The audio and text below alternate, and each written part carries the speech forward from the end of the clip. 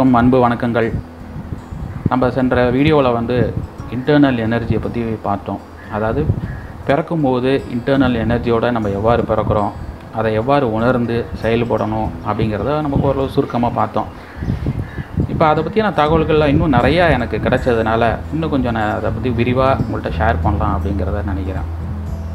முதல்லேருந்து அதை எங்கேருந்து அதோடய பிறப்பிடம் என்ன அப்படிங்கிறத கொஞ்சம் பார்ப்போங்க. பிறப்பிடம் என்ன அதை எவ்வாறு நம்ம வந்து தவறாக பயன்படுத்துகிறோம் அது அதோடய அளவீடு என்ன அதாவது எவ்வாறு நமக்குள்ளே எவ்வாறு அது வந்து அமைஞ்சிருக்கு அப்படிங்கிறத நம்ம கொஞ்சம் விரிவாக பார்க்கணும் முதல்ல அதோட பிறப்பிடத்தை பற்றி நம்ம பார்ப்போம். அதாவது இது வந்து தலைமுறை தலைமுறையாகவோ இல்லை தாய் தந்தையரின் எண்ணங்களின் வழியாகவோ இல்லை தாய் தந்தையரின் முன்னோர்களின் வலிமையுள்ள உள்ள மீண்டும் பிறப்பு பிறப்பு எடுக்கக்கூடிய ஜீன்களின் கலவை எல்லாம் ஒன்று சேர்ந்து ஹண்ட்ரட் பர்சன்டேஜ் விதையாக தகுந்த கால நேரம் வரும்போது அது வந்து பிறப்பு எடுக்குதுங்க. இது பார்க்குறதுக்கு இது ஒரு அற்புதமான ஒரு நிகழ்வுங்க. இது இந்த ஒரு விதை தான் நம்ம பூமியில் பிறந்து அதோட சந்தர்ப்ப சூழ்நிலைக்காக தன்னை விஸ்தரிக்க காத்து கொண்டிருக்கிறதுங்க சரி. இதோட பயணத்தை பற்றி நம்ம கொஞ்சம் பார்ப்போம். இது எங்கெங்கெல்லாம் நமக்கு வந்து நம்ம கண்ணுக்கு நேராக இது தெரியும் அப்படின்னு முதல்ல பார்த்தோம்னா இது முதல்ல ரத்த சம்மந்தமான இதில் அதிகமாக தெரியுங்க. முதல்ல நம்ம தாத்தா பாட்டி அம்மா அப்பா அதாவது தாய் த தாய் தந்தையர் கணவனாக இருந்தால் மனைவி அமைகிறதுல தெரியும். மனைவியாக இருந்தால் கணவன் அமைகிறதுல தெரியும். மகன் மகள்கள் பேரன் பேத்திகள் இப்படி உறவினர்கள் உறவினர்களோட யார் யாரெல்லாம் தொடர்பு எந்தெந்த மாதிரி உற- உறவினர்கள்லாம் நம்மளோட இருக்காங்க அப்படிங்கிறதுலையும் தெரியும். அப்புறம் நம்மளோட உடல் வளர்ச்சி எப்படி இருக்குது ஹைட்டாக இருக்கமா? குள்ளமாக இருக்கமா? நல்ல தேகத்தோடு இருக்கமா? அப்படிங்கிறதுலையும் தெரியும். கல்வி திறமையில் நல்லா தெரியுங்க. இவர் எவ்வளோ தூரம் படிக்கிறாரு? அவரோட தனிப்பட்ட ஸ்கில் அப்படின்னு சொல்லுவோம்? தனித்திறமை அப்படிங்கிறதுலையும் தெரியும். தொழில் திறமையிலையும் தெரியும் இது. எவ்வாறு அவர் சக்ஸஸ்ஃபுல்லாக தொழில் பண்ணுறாரு அப்படிங்கிறதுலையும் தெரியுங்க. அப்புறம் கடைசியில் வந்து உடல் ஆரோக்கியம் நோய் நோய் எந்த அளவுக்கு இயற்கையாகவே இருக்கா இல்லை நல்ல தேகத்தோடு இருக்கா ஆரோக்கியமாக இருக்காரா அப்படிங்கிறதும் தெரியும். கடைசியில் மரணத்தில் தெரியும்.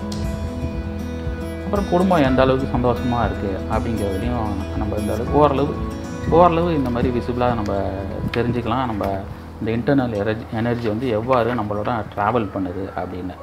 இதுவே பார்த்திங்கன்னா இன்டர்னல் எனர்ஜி வந்து நம்மக்கிட்ட குறைவாக இருந்தாலோ அதை இல்லை நம்ம வந்து உணராமல் இருந்தாலோ அது வந்து நம்ம தவறான பாதைக்கோ இல்லை நம்மளை நேரத்தை வீணடிக்கவோ அழைத்து கொண்டு போயிடுங்க. அதில் என்னென்ன அப்படின்னா நம்ம ஏ- ஏற்கனவே சொன்னது போல் டிவி அடிக்கடி பார்க்குறது அதிக நேரம் மொபைல் பார்க்குறது அதிக நேரம் சினிமாவை பற்றி பேசுகிறது நெட்டில் தேவையில்லாத விஷயங்களை ஆராய்ச்சி பண்ணுறது அரசியல் பற்றி பேசுகிறது நாட்டை பற்றி பேசுகிறது அரசியல் தலைவர்களை பற்றி பேசுகிறது மற்றவர்கள் பற்றி குறை சொல்கிறது இதுதாங்க ரொம்ப தவறான வழிக்கு அழைச்சிட்டு போவோம்.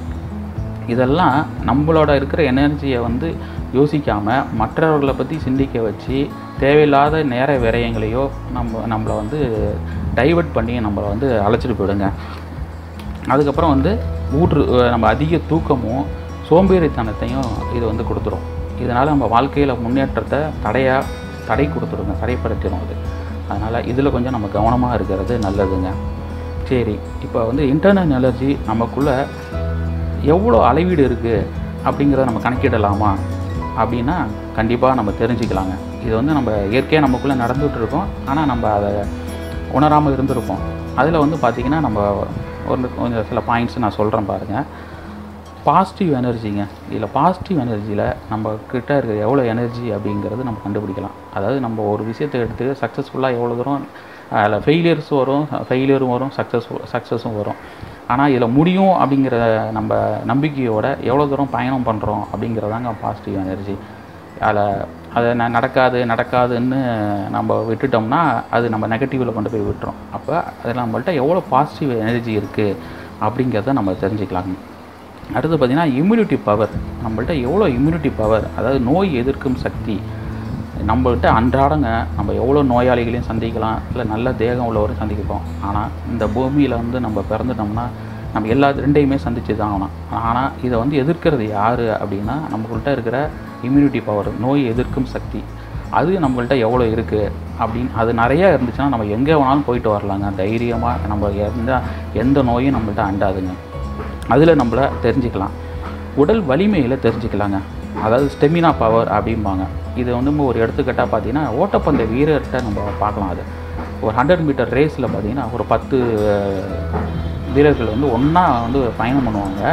அதில் வந்து ஒருத்தர் தான் வந்து அந்த ஃபஸ்ட்டு பிளேஸ் போடுவார் ஆனால் ஈக்குவலாக எல்லாருமே பத்து பேரும் தொடர்ந்து ஒன்றாவே ப்ராக்டிஸ் பண்ணியிருப்பாங்க. ஈக்குவலாக எல்லாமே ட்ராவல் பண்ணுவாங்க. ஜெயிக்கணும்னு தான் போவாங்க. ஆனால் ஒரு செகண்ட் ரெண்டு செகண்டில் வந்து அந்த சக்ஸஸை இழந்துருவாங்க. அப்போ அவரோட வலிமை என்னங்கிறத அது தெரியும் அந்த மாரத்தான் ஓட்டப்பந்தயத்துலேயும் தெரியுங்க.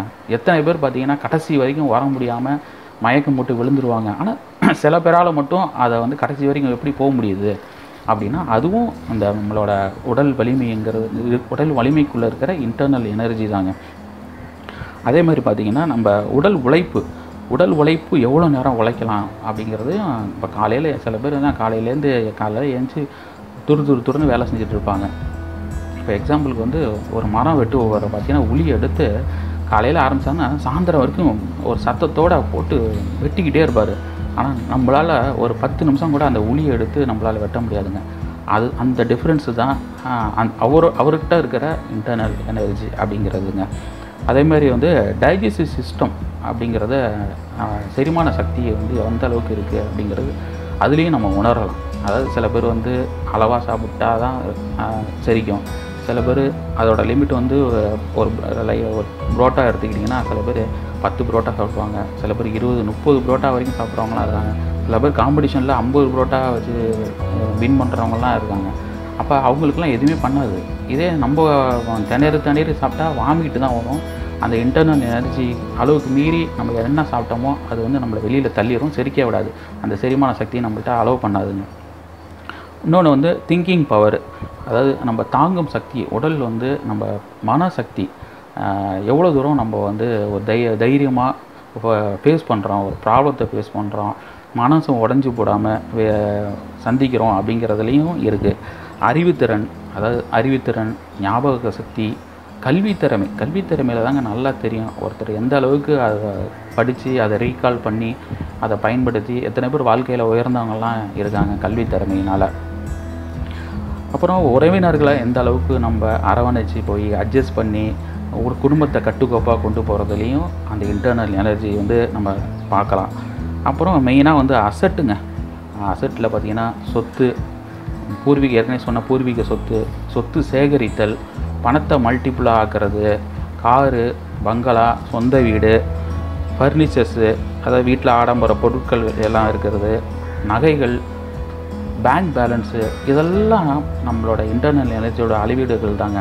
சில பேர் இது அளவீடு கம்மியாக இருந்துச்சுன்னா இதுக்கு வந்து செலவு அதிகமாக இருக்கும். இதுதான் வித்தியாசம். இது நம்மளுக்கு நம்மள்ட்ட எவ்வளோ சக்தியாக இருக்குது அப்படின்னு. அப்புறம் ஒருத்தர் எவ்வளோ தூரம் பயணம் பண்ணுறாரு வாழ்க்கையில் எவ்வளோ பயணம் பண்ணுறாரு எத்தனை நாடு வெளிநாட்டு பயணங்கள்லாம் போயிட்டு வராங்க எவ்வளோ அறிவை அதில் சேகரிக்கிறாங்க அப்படிங்கிறதுலையும் ஒருத்தருக்கு இன்டர்னல் எனர்ஜி வந்து அடங்கியிருக்குங்க. இன்னொன்று நம்ம இறுதியாக பார்க்கணும்னா ஆயுள் சக்திங்க. அதாவது ஒருத்தரோட உயிர் சக்தி. நம்மக்கிட்ட அந்த உயிரோட சக்தி எவ்வளோக்கு எவ்வளோ இருக்கோ அவ்வளோ நாள் நம்ம முழுமையாக நம்ம வாழ வாழ முடியுங்க. இதுதாங்க நம்மளோட இதுலேருந்து நம்ம தெரிஞ்சுக்கலாம். நம்மள்ட்ட எவ்வளோ இன்டர்னல் எனர்ஜி நம்மள்ட்ட அளவீடாக நம்ம இருக்குது அப்படிங்கிறத தெரிஞ்சுக்கலாங்க. ஒரு எக்ஸாம்பிளுக்கு பார்த்தீங்கன்னா ஒரு சிறுத்தை பார்த்திங்கன்னா ஒரு வேகமாக ஒரு இறையை தேடுறதுக்கு வேகமாக போவோம். ஆனால் அது குறிப்பிட்ட நேரம் தான் அதோட வேகமாக போக முடியும். அதனால் அப்புறம் டக்குன்னு அப்படியே நின்றுருங்க அது. அதே போல் தான் ஒவ்வொருத்தரும் நம்மளோட அளவீடு அளவீடை தெரிஞ்சுக்கிட்டு நம்ம வாழ்க்கையில் சந்தோஷமாக வாழ கற்றுக்கொள்ளலாம். நன்றி. வணக்கம்.